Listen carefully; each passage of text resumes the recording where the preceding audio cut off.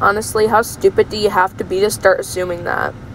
Question, real service dog or not, why do you walk towards them just to record the dog? If you're recording for your safety, why why continue to walk towards the dog when there are other paths to take?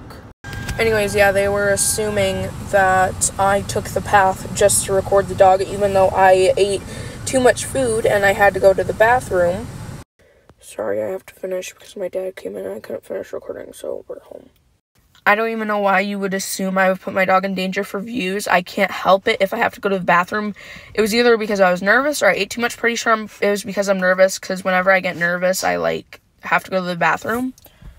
Girl, what are you doing? Dixie debates. Hi. Hi, yes. Anyways, besides her being a silly goose, um, how about instead of assuming I put my dog in danger for views, my lifeline, the dog that keeps me alive, um, how about you just educate yourself? And yes, I'm posting this to my YouTube and I will tell you to come watch it.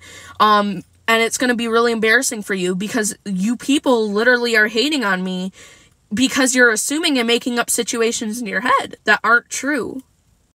How about instead of getting mad over an imaginary thing, you actually get to know me and you get to know why I went to the bathroom because I literally had to go. And how about instead of assuming I went there to put my dog in danger and get a good YouTube video, I was recording for my safety. I could not go anywhere else because the other side was the kitchen. The kitchen where they prepare food. I'm not an employee. I can't go in there with my service dog. Plus, it's against health code violations to have a dog in the kitchen. Service dog or not. So yeah, instead of assuming I could have gone another way, even though you don't know anything, like uh, you don't even know what restaurant I was at, yet you're assuming they had different paths, even though that different path eventually led to that. Because here's the thing: here's the pay counter. And here's their table. The table is right next to the counter, so I only had this area to go through. Their dog was right here.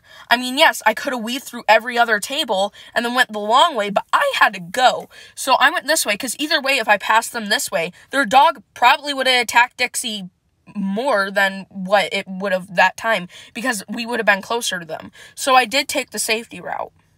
So instead of assuming I'm a crappy dog owner for taking a route that's safer for my dog and that's less of a burden because I had to go to the bathroom, how about you actually go there, experience it?